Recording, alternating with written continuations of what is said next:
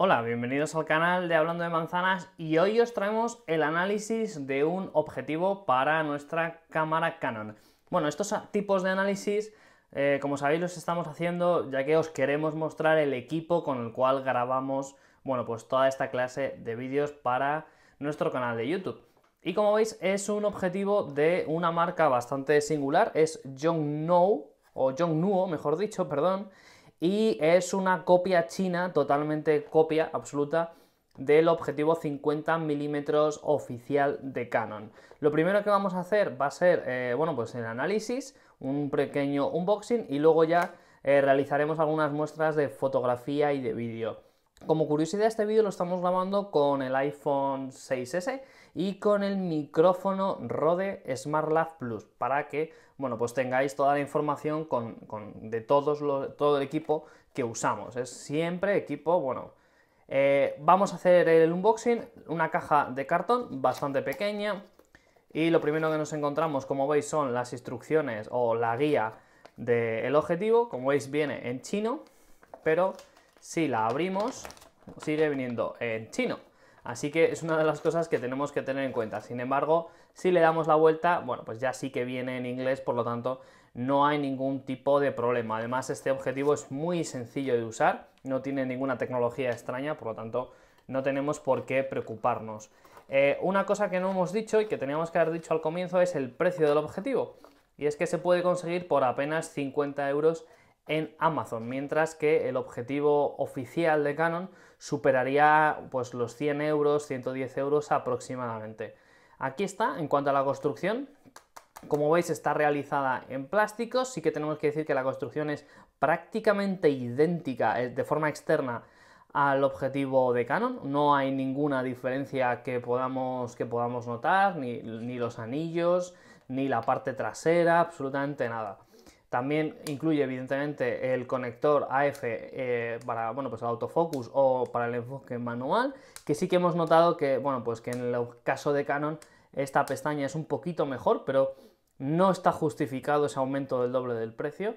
Eh, como sabéis, también permite enfocar a 45 centímetros de la escena, es decir, si queremos hacer una fotografía o un vídeo a esta caja nos tendríamos que poner a 45 centímetros, que son, bueno, pues 1,5 fits en la tecnología o en la, medición americana.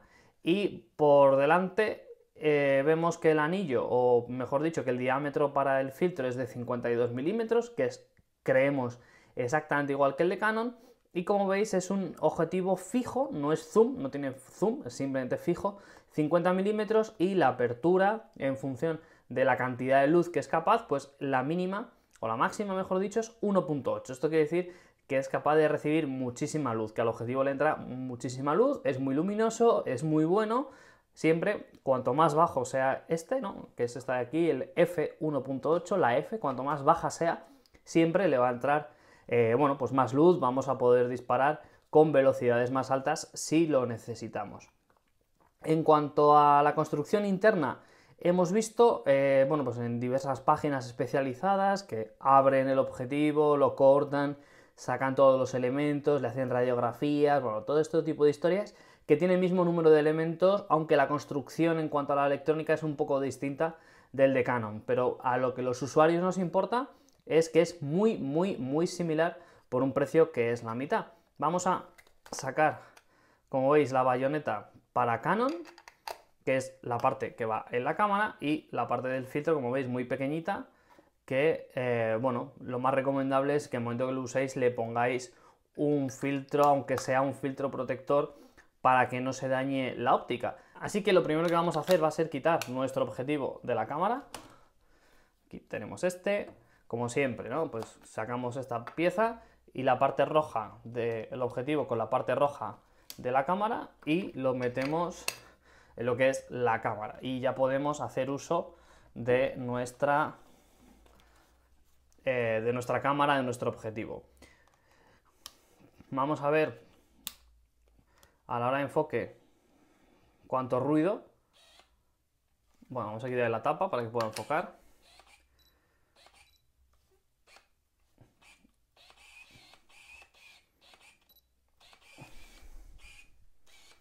Vamos a acercar el micrófono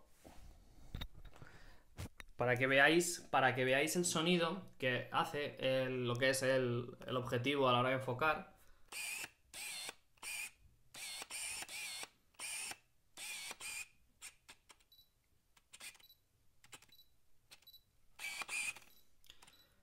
Como veis es un poco ruidoso, pero enfoca pues bastante, bueno, pues bastante rápido. Y además que estamos enfocando a una luz que se está, y al techo que se está volviendo bastante loco, así que en cuanto a la velocidad, pues para la mayoría de usuarios más que suficiente. Evidentemente no es un objetivo de la gama L, pero tampoco estamos pagando por ello. Recordad que son 50 euros lo que estamos pagando por uno de los objetivos quizás más baratos eh, del mercado que tengan enfoque, enfoque automático. Y bueno, pues tampoco es un objetivo, la verdad es que, que sea demasiado ruidoso. Bueno, vamos a probarlo en modo vídeo. Eh, hemos desenfocado completamente la escena. Vamos a ponerle este aquí para que se vuelva un poco loco. Como veis, enfoca, bueno, pues con una velocidad bastante grande. Para que veáis de nuevo el sonido del enfoque, vamos a poner aquí, como veis, el micrófono. Está justo debajo del objetivo.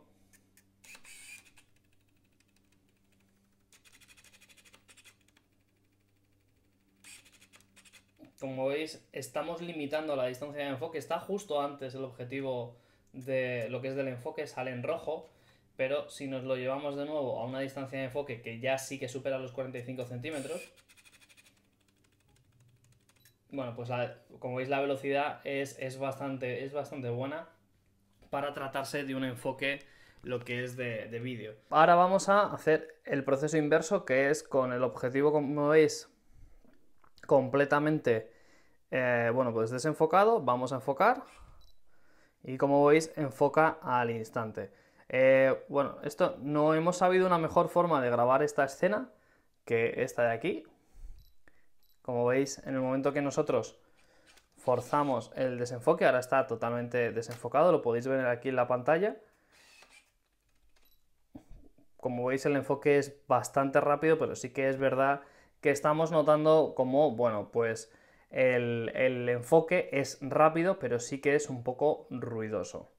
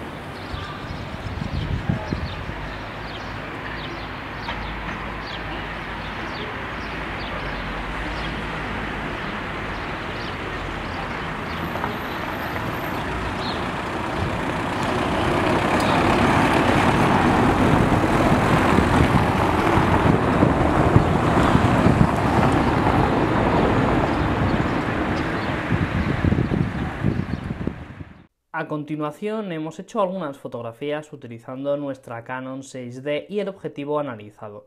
En la parte inferior izquierda podéis ver los datos EXIF de cada fotografía para comprobar cómo se ha disparado y su resultado final. Estas fotografías no han sido editadas y proceden directamente de la cámara y el procesado del archivo RAW mediante Adobe Lightroom en un ordenador Mac. Como resumen de nuestro análisis y experiencia utilizando este objetivo, tenemos que decir que ha sido francamente satisfactoria. Si estás buscando un objetivo con un precio muy reducido pero que tenga una calidad de imagen buena y una luminosidad excelente, sin duda es un candidato inmejorable para cámara Canon.